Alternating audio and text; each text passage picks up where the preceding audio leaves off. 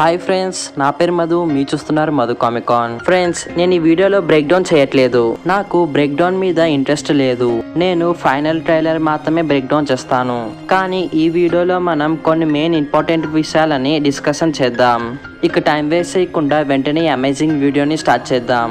అయితే first Eternals immortal కదా. మరి అవెంజర్స్కి ఎందుకని హెల్ప్ చేయలేదు? అయితే ఎటర్నల్స్ మనుషులు చేసే పనిలోకి ఇంటర్ఫరెన్స్ కామని చెప్పారు. మరి థానోస్ ఈ యూనివర్స్ మొత్తాన్ని నాశనం చేయడానికి వస్తున్నాడు. మరి వీళ్ళు అప్పుడు ఎందుకని రాలేదు? కానీ ఈ క్వశ్చన్కి మూవీ చూస్తేనే మనకి క్లియర్గా అర్థమవుతుంది. అయితే నాకు కన్ఫామ్గా తెలుసు. మార్వెల్ దగ్గర ఖచ్చితంగా ఒక స్ట్రాంగ్ పాయింట్ ఉంది. మార్వెల్ దగ్గర స్ట్రాంగ్ పాయింట్ లేకపోతే ఈ మూవీని తీసేవాళ్ళే కాదు. మనకి ఈ మూవీలో ఖచ్చితంగా మార్వెల్ వాళ్ళు మంచి ఎక్స్ప్లెనేషన్ ఇస్తారు.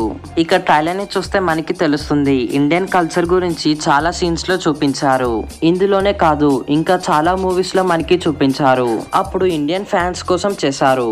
కానీ ఈ మూవీలో చూపించటం అంటే ఖచ్చితంగా ఏదో కారణం ఉంది. ఎందుకంటే ఈ మూవీలో మనుషులు ఎలా ఎవాల్వ్ అయ్యారని చూపిస్తున్నారు. కానీ కొంతమంది ఇది చూసి ఖచ్చితంగా కాంట్రవర్సీ చేయడానికి రెడీగా ఉంటారు. సరే దీని గురించి పక్కన పెడదాం. ఫస్ట్ ఆఫ్ ఆల్ మనం ఎటర్నల్స్ గురించి కొన్ని విషయాలు తెలుసుకుందాం. ఎన్నో మిలియన్స్ ఇయర్స్ కిందట సెలిస్టర్స్ భూమి మీదకి వస్తారు. తర్వాత ప్రోటో హ్యూమన్స్ మీద ఎక్స్పెరిమెంట్స్ చేస్తారు. ఆ విధంగా డీవియన్స్ హ్యూమన్స్ ఎటర్నల్స్ ఈ మూడింటిని క్రియేట్ చేస్తారు. అయితే ఎటర్నల్స్ అందరూ ఇమోటల్స్ అయితే వీళ్ళందరూ హ్యూమన్స్తో కలిసి ఉంటారు. సరే ఇంత చాలు. ఇంకా మనం మెయిన్ టాపిక్ మీద వద్దాం.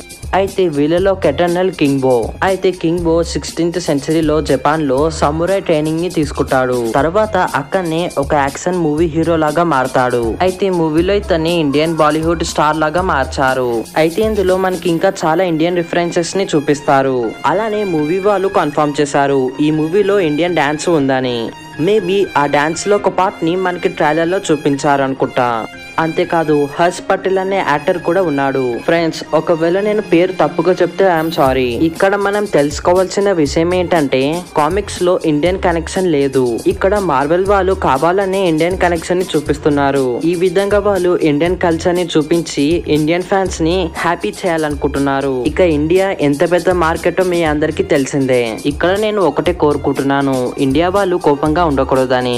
ఇక నేను నమ్ముతున్నాను.